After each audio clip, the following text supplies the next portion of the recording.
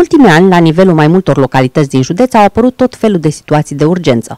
De multe ori, autoritățile au gestionat incorrect problemele pentru că nu aveau cunoștințe de gestionarea acestora, ignorând cursurile organizate în acest sens de ISU. An au fost uh, planificați un număr de 51 de primari să urmeze cursul privind pregătirea în domeniul situațiilor de urgență la Centrul Zonal de Pregătire de Protecție Civilă Craiova, din cei planificați un număr de 18 primari și viceprimari și viceprimari au participat la acest uh, curs. Pentru a reuși totuși să aducă pe edil la cursurile de gestionare a posibilelor situații de urgență, reprezentanții SUOLT au decis să reprogrameze pe primarii și viceprimarii absenți.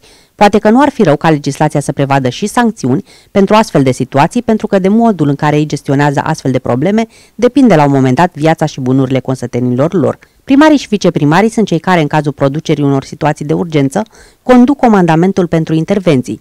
De cele mai multe ori, ei sunt nevoiți să decidă de urgență modalitățile de intervenție și dacă acestea sunt eronate, pagubele pot fi incomensurabile.